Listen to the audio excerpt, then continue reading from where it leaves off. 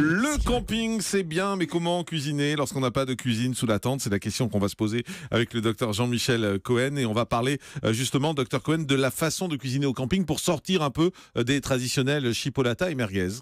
Oui, en fait, on oublie que manger froid n'a aucune espèce de, de, de, problème, ne pose aucun problème par rapport à manger chaud. Ah et euh, le camping, c'est particulièrement le moment où on peut utiliser ce genre de choses. Je donne un exemple simple, c'est le gazpacho. Bah, c'est la soupe froide par excellence. Elle peut se décliner avec mille autres légumes. On peut faire des soupes de pois cassés froides, on peut faire des soupes de concombre froides. Et c'est pas forcément un moment apéritif, mais ça veut dire que ça nécessite pas un ustensile pour réchauffer. De la même façon, il y a énormément de produits qui peuvent se manger froid, ne serait-ce que parce que le poissonnier, par exemple, vous les a cuisinés.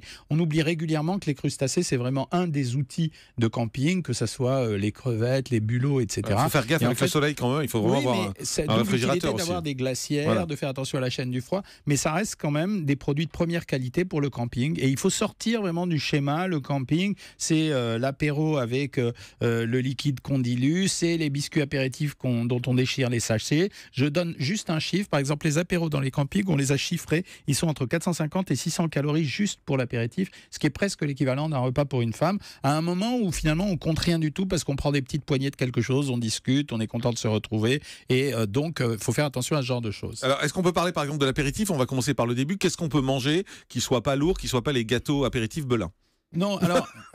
bah voilà, ils sont contents. Mais non, mais c'est vrai, c'est super bon en même temps. Moi, ah j'ouvre un paquet, je mange tout, quoi.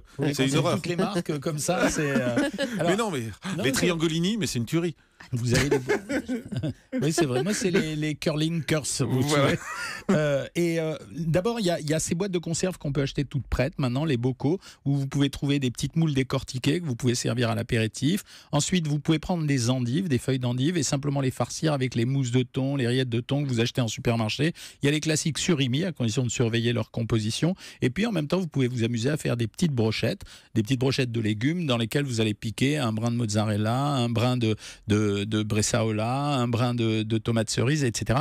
Donc ça veut dire qu'il faut varier et pas euh, rester euh, enfermé dans le schéma euh, biscuit apéritif. Et pour le varier, il faut pas oublier qu'un apéritif, c'est simplement des petites bouchées de quelque chose. Donc vous pouvez cuisiner quasiment tous les produits que vous mangez en plat principal, en petites bouchées. Les œufs durs, par exemple, ah, il y a eu une époque, il y a 30 ah ou 40 ans, où les gens servaient des œufs durs à l'apéritif parce que l'œuf dur, bah, c'était pas banalisé comme aujourd'hui. Ça reste quand même un produit apéritif extrêmement intéressant, extrêmement rassasiant. En, en petits carrés, en petits morceaux, c'est ça euh, le fromage aujourd'hui, je rappelle que la consommation de fromage aujourd'hui, 40% de la consommation de fromage, plus de 40% de la consommation de fromage se fait hors apéritif. Il y a des fromages qui sont particulièrement diététiques. Vous avez les petits apéricubes qu'on trouvait auparavant, ils sont oubliés. Ben, c'est diététique ça? Oui, ça reste ah assez diététique parce que vous jouez en diététique, vous pouvez jouer sur deux choses. Sur Moi, quand j'en prends deux boîtes, j'ai l'impression de grossir. Oui, mais euh, c'est ça. c'est justement ça. Vous pouvez jouer sur la qualité de l'aliment et vous pouvez jouer également sur la quantité de l'aliment. Donc ça, vous avez oublié également. Et puis on trouve maintenant aussi des petites choses toutes prêtes, les, les sardines mmh. qui sont découpées en petits morceaux. Donc il faut avoir, c'est là où il faut avoir l'œil sur les rayons des supermarchés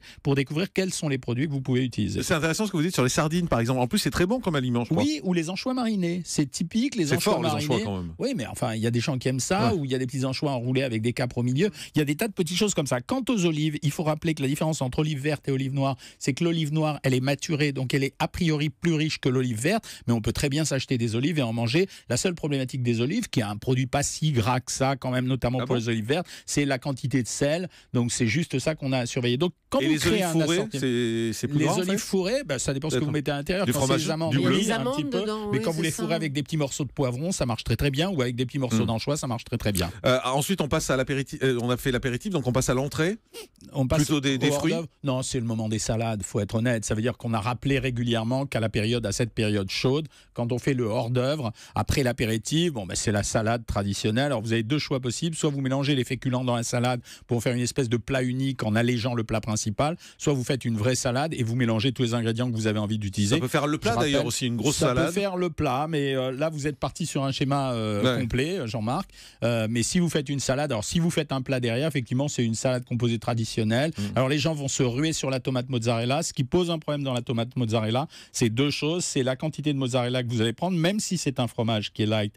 vous avez rapidement tendance à en prendre une quantité très importante. Et deuxièmement, c'est l'huile d'olive parce que c'est jamais si bon que quand on met de l'huile d'olive. J'en profite pour dire que le vinaigre balsamique ne pose aucun problème, même s'il est sucré. Donc vous pouvez l'utiliser comme vous voulez. Alors le barbecue, qu'est-ce qu'on met sur le barbecue? Il y en a marre de mettre euh, en permanence toujours la saucisse Bah traditionnelle. Je rappelle que les saucisses sont des produits extrêmement gras, que la qualité de ces produits sont vraiment n'est pas du tout au rendez-vous en général. Euh, on appelle ça les, les poubelles du boucher. Donc c'est pas euh, seulement ça qu'on doit mettre. Alors en fait, il y a les viandes qui se prêtent C'est bien. violent la poubelle du boucher. Mais non, c'est un Pa- peu Parce qu'en fait, le boucher met tous les déchets non, dedans il met pas des, des déchets, il met les, les morceaux de viande qu'il n'a pas vendus pour vendre de la bonne qualité de viande. Et Ah. en plus, une saucisse, si elle n'est pas grasse, elle va rapidement se dessécher. Les gens sont persuadés qu'en les perçant, ils les rendent moins gras. C'est une grosse erreur. Vous enlevez quasiment rien du tout, donc ça sert à rien. Ça fait pas couler l'huile, le Non, gras ouais, non, mais de, façon tout à fait insignifiante. hein. Ah, et en rappelant percé. aussi qu'aujourd'hui, vu les alertes qu'on avait mis sur le barbecue, c'est vrai que les, les placas, les, les espèces de, de planchas qu'on utilise maintenant et qu'on peut poser sur un barbecue d'ailleurs, sont, euh, si elles sont pas électriques, elles marchent très très bien aussi et elles font cuire l'aliment dans sa graisse qui lui donne meilleur goût.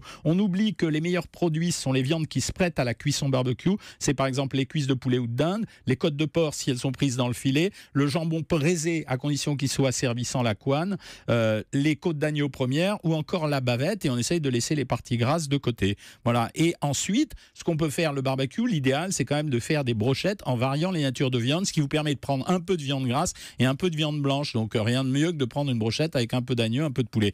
Enfin, moi, je pense que les poissons, si on sait bien utiliser un barbecue ou une plancha, c'est vraiment un produit de Oui, grillade. mais ça pue après. Euh, si Bah si ouais. vous êtes en plein air Non, si mais c'est la grille qui sent bah pas déjà, bon. il y avait les pieds qui puent Non, non, non, non, non, non, euh, mais c'est la grille qui sent pas bon après quand vous faites du, du poisson sur la grille. Après, on elle la sent, elle nettoie, sent le poisson. Franchement, on la nettoie. euh, bah, Mm. Vous prenez deux griottes, il chochotte celui-là, non On est au camping, on va laver sa grille après dans le Ah, là, l'évier Déjà, vous êtes à poil, mettez à Et on est dehors. Pas de saucisse, vous avez dit. Et après, non, ce qu'il faut utiliser beaucoup, beaucoup à cette période de l'année sur ces grillades qui auraient aucun goût si elles sont grillées, parce que la viande grillée, elle n'a pas beaucoup de goût en réalité, elle se dessèche, elle perd de sa saveur, c'est d'utiliser les épices et les aromates. Et c'est le moment d'avoir l'astuce de mettre coriandre, menthe, persil, ciboulette, cumin, safran, etc. sur vos grillades pour essayer de donner une tonalité so- Et on soleil peut à faire des légumes également. Et on peut faire des légumes, mais sauf que bon, voilà, les légumes c'est en brochette. euh, vous pouvez faire du chou-fleur, vous pouvez faire à peu près tous les légumes. La tomate s'y prête aussi à condition de ne pas la cuire trop. Mais le meilleur au barbecue, c'est mettre quand même la pomme de terre en robe des champs à Ah, l'intérieur des ça. braises et la J'adore ça, moi sortir. je fais ça. Et en rappelant que cette pomme de terre n'est pas très calorique, c'est 90 à 100 calories pour 100 grammes. Ah, bah c'est bien La- ça alors. Mais non, mais vous, vous allez mettre de la Non, crème non, je mets, fraîche je mets- dessus. je mets alors, rien euh, dessus. Je mets rien dessus, je la prends comme Jure. ça. Ah oui, promis. Je mets rien dessus. Et simplement, comme je mange plus de viande en ce moment, je sais pas quoi faire moi au barbecue. Et ben le poisson, Ouais. donc euh, voilà, sardines, euh, filets de rouget, gambas, euh, Mm. pour les plus les plus riches, euh, les, les crustacés nobles comme homard ou langouste. Ah ouais, ouais, ça, euh, oui. Isabelle Quenin. Entre le barbecue et la plancha, on choisit quoi? Moi aujourd'hui, je préférais la plancha pour une double raison. La première raison, c'est qu'un aliment qui cuit dans sa matière grasse et dans son jus de cuisson, parce que ça relâche de l'huile et ça relâche ça relâche de l'eau, donc ça va conserver la saveur. Euh, Ça c'est la première raison. Et la deuxième raison, c'est parce que le, le, le barbecue en général, c'est quand même un produit sur lequel on a un peu de méfiance parce que les gens savent pas cuire au barbecue en mettant très longtemps, parce qu'en fait il faudrait mettre la grille haute et donc la plancha elle se prête particulièrement. C'est une poêle la plancha quoi.